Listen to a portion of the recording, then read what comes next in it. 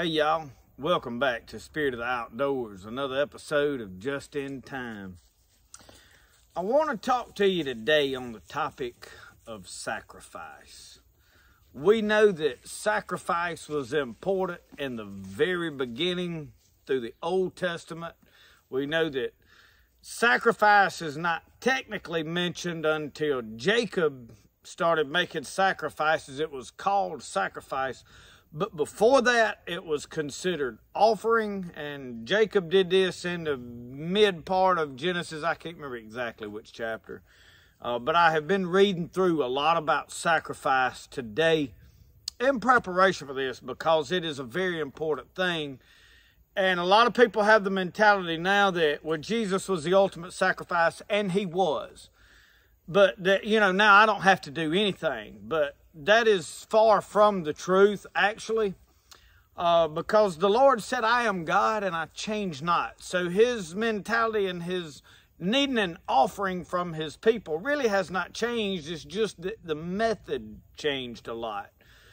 So I want to start and I want to read and I want to try to do more teaching today than I do necessarily preaching like I do sometimes. And it's more teaching on this channel than it is preaching, but sometimes we get a little into both of it. So I wrote some notes.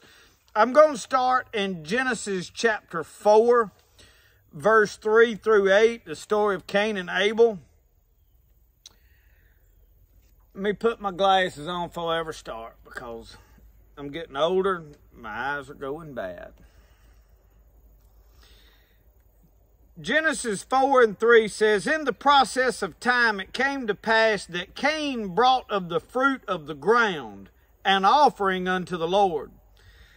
And Abel he also brought of the firstlings of his flock and of the fat thereof. And the Lord had respect unto Abel and his offering, but unto Cain and of his offering he had not respect. And Cain was very wroth, and his countenance fell.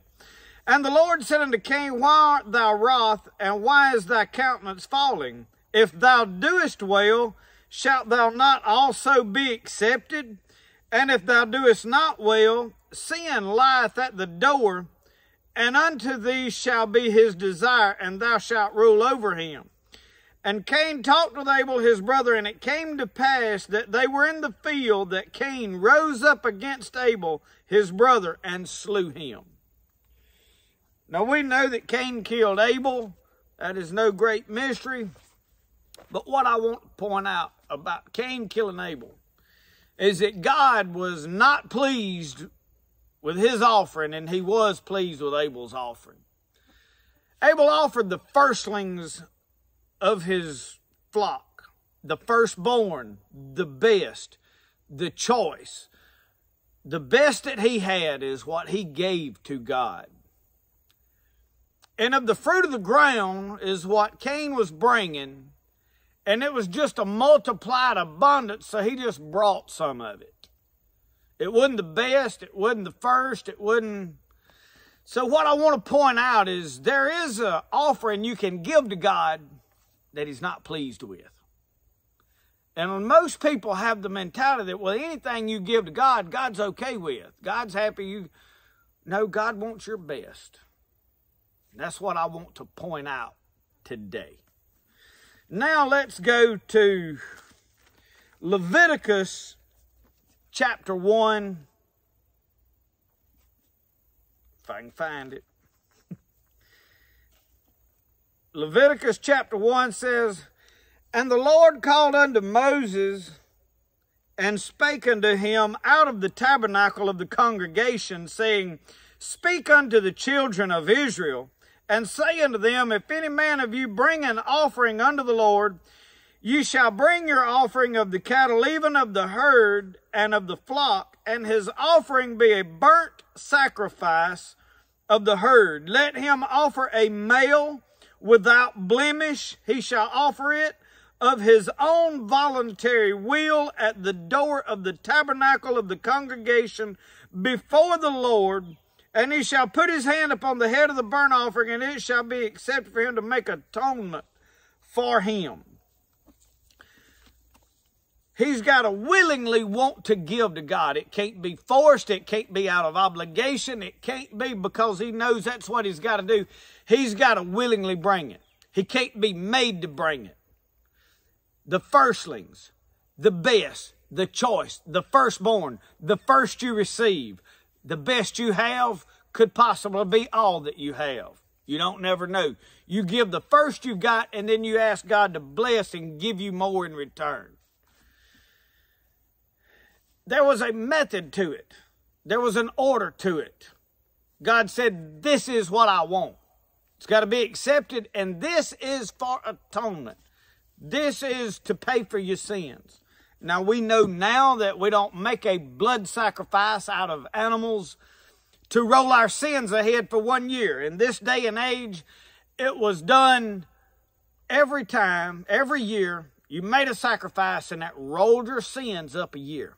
Next year at this appointed time, you had to make another sacrifice for a year's worth of life. So this is a routine done. There was a lot of animals died. There was a lot of death. There was a lot of blood over the years for all these people. But there came a time in life where God decided, I want a more personal relationship. I want something more intimate with man. I want a conversation. I don't want just a one year, once a year you come to me and make this offering. I, I, I need a living sacrifice. And we know that God came down, robed himself in flesh, died on a cross, paid the ultimate sacrifice in blood. We no longer have to do that. And a lot of people get the mentality, well, you know, God took care of everything, now I don't have to do nothing. Well, that, that is not how I see it. As I read this, part of people talk about a relationship with God. Part of having a relationship with God is understanding the mind of God and knowing what God wants. Like I said, He said, I am God and I change not. His attitude hasn't changed. He has adjusted the methods, but what He desires from man has not changed his desire to commune with man. When he first created man, he wanted somebody to talk to. He wanted a relationship, somebody to come down and spend some time with. And that has not changed. And the fact that he said, I want somebody to willingly want to give to me. And I'll give back to them. But I want to know that they willingly want to offer me sacrifice. That, that, that they want, it's got to cost them something. So, what does it cost and what is it now? I'm going to go to the book of Romans, chapter 12. And at this point of life, it gets uncomfortable for a lot of people. Romans chapter 12 and verse 1 says, I beseech you, therefore, brethren, by the mercies of God that ye present your bodies a living sacrifice, holy, acceptable unto God, which is your reasonable service.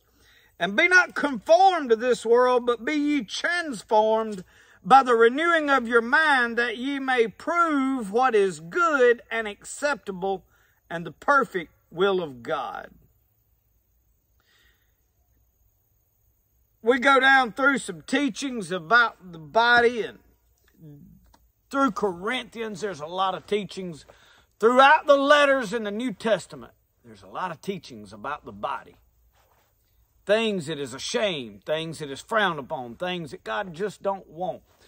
It don't really line any of these things out to say you're going to hell if you don't do this. And that's what people want to hear. People want to know nowadays, okay, what all can I get away with? That's their mentality. In my body, what all can I do with this body and not go to hell over it? Because I'm going to do everything that the Bible don't just say is a sin. But I come to you today and I say, if you love God, and you know that, you know, well, this, I may not put you in hell over this, but I really don't like it, then I'm not going to do it. I may slip up and do it. I may make a mistake and do it. But I'm not going to just say, well, it don't matter what God thinks. I'm, I'm going to do it because he didn't say I was going to hell over it, so I'm going to do it anyway. And a lot of it has to do with pride. self identity, being confident in knowing that I am blood bought and I am now property of Jesus Christ.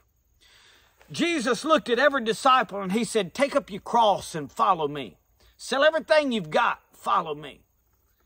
Follow me. And Jesus nailed himself literally, or was allowed himself to be nailed to a cross physically. But he said, Follow me. And that was a type and shadow of what we do because now we are the body of Christ. We talked about this last week. And us being the body of Christ, we've got to be holy. He said, Be ye holy. You be holy, in other words, because I'm holy. And I'm going to be living in you, and I'm not living in a trash dump. I'm going to live inside your body, and I'm going to work through you, and I don't want it to be full of garbage. I don't want it to look God awful. I don't want it to be pride and adorned with all this costly stuff. He talked about costly array and gluttony. Two of the things that even the most extreme Pentecostal overlook. And I am affiliated with the Pentecostal, so I can talk about it. Even them don't get up in a pulpit and preach against gluttony, which is eating too much. We eat out of pleasure, and we should not. We wear costly array, and we should not. Now, I'm not talking about, hey, you need to dress poor and look poor and go wear poor clothes. No, you can wear nice clothes, you can wear expensive clothes. It is the attitude, and well, look at this name brand I have because I'm somebody and I wear the best that there is. That is a terrible attitude to have. And I think costly array fits the vehicle you drive across the board. If you go buy a vehicle because this is a name brand, this is look at the wheels that's on this, look at all the chrome, look at how nice my vehicle. This says that I am somebody when I ride around in this vehicle, then you ain't got no business with it. And that trickles all down through everything that pertains to this body, the way we carry it, the things we do to it. This body, it says, Know ye not that your body is a temple your body is a temple of the Holy Ghost. It is the house of the Holy Spirit. And some people wonder, well, why ain't the Holy Spirit working through me like it does some people? Probably because you have defiled the house into the point that the Holy Spirit don't want to reside in it. He said, Be ye holy, for I am holy. We looked at Cain and Abel. They was some sacrifices that weren't acceptable. People say, oh, well, I'm a Christian. I'm going to heaven. I believe on Jesus. But Cain and Abel both give sacrifices, but Cain's was not, did not please God. God was not happy with it. He said, yours is going to lead to sin. He said, if you do well, he said, you'll have respect too. But he was in a sense telling him, I don't have respect for the offering that you have given me. And some people have presented a body to Jesus Christ today that is not acceptable, that He is not pleased with, that is not respected because they don't really care. People say, oh, this is my body, my choice. No, it's not your body. When you nailed it to a cross, when you took up your cross and said, I'm going to follow Jesus Christ, I'm going to give my life to Christ, you give your body to Him as well. That is your life. Your body is one of your most prized possessions. And you must offer it to God and say, God, what would you ask of me? God, what, what do you want me to do? Not, not what, am I, what can I get away with, but what do you ask of me? How do you want me to dress? How do you want me to carry myself? What attitude do you want me to have with other people? Because this holiness thing is inside and outside. When people look at you, you represent Jesus Christ. When you tell somebody, I'm a Christian and I, I, believe in Jesus and I want you to come to church with me, and you start trying to witness to people, and they look at you, the first thing they see is the outside of your body. And if it looks a mess, they don't want it. If it looks like, well, I think more highly of myself than I should, I'm prideful and I'm a, they probably don't want it. Be well dressed, take care of yourself, look good, but be humble. The next thing is, is what kind of attitude did you start with? Did, did, did, they just see you while ago out there cussing somebody out or, or mistreating somebody or, you know? This kind of stuff is an outward expression of what's inside of you. Whatever's on the inside's going to come out. But the first thing people see is the appearance. Does it look holy? Does it look godly? You say, oh, well, I don't see nothing wrong with this. But just because you don't see nothing wrong with it, don't mean God didn't see nothing wrong with it. You see, we have gotten really comfortable with a lot of things because we look at the people around us and we say, well, I'm doing better than they are. The Bible says that a fool compares himself among themselves. In other words, if, if I justify what I'm doing because there's people over here that's doing worse, I am a fool. I need to compare myself to the New Testament, to what this Word of God says. I need to read through the Corinthians. I need to read through Romans. I need to read through Hebrews. I need to read through all of these letters that Paul wrote, that John wrote, that Peter wrote, all these apostles wrote. And I need to apply every bit of it to my life. And I need to shape my life and my body and my attitude around this anvil. Not try to bend it and pick and choose through it to fit what I like and what feels good. And I know there's some stuff been taught from birth that I read through this Bible and I can't find it in there. And then I read through and I find stuff that I have never heard nobody preach. As I already said, I don't hear very many preachers preach on gluttony. But if eating is your hobby and you just eat, it's no different than anything else out there that's wrong. I hear a lot of people harp on tattoos. I've got one. I don't find a lot of scripture in the Bible about tattoos. But I would say this if you're putting defiled looking stuff on your body, why? You know, I'm not going to say, hey, a tattoo's going to send you to hell. I got one. I've had it a long time. I don't want no more. I'm not going to say somebody's going to hell over one. But I would be very careful in the things I do to this body because is this going to bring glory to God or is it to bring glory to me? You say, oh, well, that's no different than putting on a nice shirt. It's just art. It's just to look good. Is it? Because we've talked about costly array, which is expensive, extravagant clothes. And I'm throwing this at the preachers that stand in a pulpit that's got to buy a three, four, five thousand dollar suit to stand on stage. That is costly array. It is not necessary. Should you have a nice suit? Should you wear your best to church? Absolutely. But my problem with preachers wearing three, four, five thousand dollar suits is if you can afford this personally, this excess and expense, is there people in your audience that's struggling to pay their light bill? I think that money could have been better spent in a more pleasing and acceptable way to God. That God got more glory out of it than He is with you having a three or four thousand dollar suit on. So you see where this becomes a problem. You see where it's not just about, okay, well, wearing expensive clothes is wrong. No, it's the attitude that goes into it, it's the mentality that is attached to it. You preach against gluttony. And I can go sit down and gorge myself until it's unhealthy. And we know today that our food that we eat is more unhealthy than it has ever been in the history of the world, especially here in America. But we'll frown on the drug addict because what he's doing is a sin. And I personally can't see a big difference in it because both of them are destroying this temple, this holy, acceptable sacrifice that I am presenting to God. And I'm not come here today to say you're going to hell over this, this, this, or this. I'm not never going to get on this and tell you how to dress, tell you what to wear, what to look like.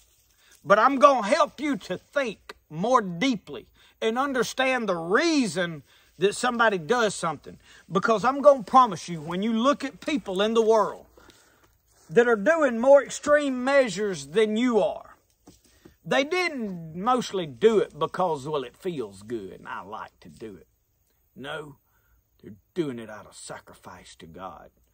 They're saying, God, I, I'm not sure if this is important or not, but I'm going to do it anyway because I'd rather be safe than sorry.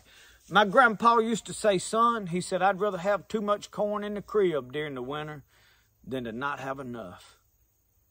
It's better when winter's over. There's some corn left to be throwed out, to be fed to the chickens and fed to the animals, than it is to get halfway through winter and realize, you know what? We didn't grow enough this year. We didn't put up enough because then it's too late. I've mentioned it over and over about the ten virgins, and there was five wise and five foolish, and the five wise had extra oil, and they made it in. The five foolish just barely had enough to get by. Their lamps was burning. They were there at the right place at the right time. But the lamps started getting dim at the end. And what I'm going to tell you, my friend, is we're getting to where the bridegroom's coming. We're close. And the pressure's going to be on. And if you can fall, you will fall. If you can be tempted, you will be tempted. The pressure's going to be amped up. And it's important that I've got plenty extra stored up in my soul that when the pressure's on, I'm real confident in what I believe and what I know. I watch a lot of people today that are getting weak in faith and, and things that they once believed they no longer believe. And the Bible says, To him that knoweth to do good and doeth it not, to him it is a sin. Whereby this guy over here that has never been taught, has never been explained this, quite possibly might get away with less because he don't know. But it's my job as a man of God to sit here today and to try to help you to know. And you can't do any of this because me or any other preacher says you got to do this. You got to dress like this and you got to act like this and you got to walk like this. No, you need to open this book up and you need to read it with open eyes and an humble heart and pray, God, open my eyes that I can see, and you speak to me what you want me to do in my life and how you want me to live and present myself. Because, God, if I'm not doing enough, and this is my honest to God prayer today, God, if I'm not doing enough, show me. I want, I've got one shot at this, Lord, and I want to please you. When you look down at this old country boy down here in the red hills of Mississippi, I want you to smile and say, that old boy's doing the best he can do. With what he's got to work with, he's doing the best he can. And that's all a man can ask for. And if God will convict my heart over something, I'll lay it aside. I don't care what it is. I have laid down things I loved before. I can do it again. And I'll give you a couple examples. I used to love Alabama football. In fact, the tattoo that I have on my chest is an Alabama A right here. But I noticed that there was times it wasn't that I got mad when we lost a game. Losing didn't bother me. It's just a game. But it was the people that want to go to mouthing off and talking. And I would get angry at them because most of them wouldn't even for the other team. They was just somebody that just didn't like us. And that got to bother me. I said, you know what? This ain't worth it. This is causing hardship amongst friends. I've watched friends fall out. I've watched friends fight. I, it, no. I said, you know what? I'm done with all this. Not to mention, it really looks like more worship and excitement goes into a football game than it does to church. Lay it aside. If it's on, I'll watch it today. If I hear about it, I pull for Alabama. But I don't lay aside time out of my day today I don't carve out time out of my Saturday anymore to sit down and watch football. I carve out time out of my Saturday to film just in time videos. because that is holy and acceptable. And that's what God has put in me. It's what God impresses in my heart to do. I read a Facebook post this past week. Guy had a picture of a girl with tattoos and earrings and different colored hair and dressed inappropriately, and she's sitting on a church pew, and they were. The post was implying that the church people shamed her and and and pushed her away because of how she looked. My comment was this: I have never been a part of a church that truly felt like if somebody like that walked in that they didn't want them there. I have never been a part of a church like that. And I'm proud of that fact. Every time I have ever seen somebody like that walk into church doors, they were loved on, they were welcomed, they were told that they was glad they were there. What is actually happening to these people is they walk into a place and they feel conviction in their heart from God Almighty and the only way they can understand it is they feel like, well, these people don't want me here. I don't feel welcome here. Wouldn't it they weren't welcome? It's they felt conviction and ran from it instead of humbling themselves to that conviction because it's a real thing and you'll really feel it and you'll feel real guilty about something. That is what conviction is. Obey it. Listen to it. I have took up enough of your time today, y'all. I thank you for watching just in time, and I pray that God will speak through me to you to help you to understand this awesome Word of God. And I'm not so smart that I understand all of it, but God opens my eyes and He speaks to me to minister what I feel in my heart about this book, and He helps me to understand it. And that comes through the Spirit that liveth in me. And I want to do the best that I can to help you to understand. The eunuch said, How can I understand except I have a man to explain it to me? And Philip explained it, and the eunuch was baptized. And that's what I want to do for you today. I love y'all. I'm praying for you. Remember, if you'll do a little better today than you did yesterday, tomorrow will be a better day. God bless all of you. I love you. We'll see you next time.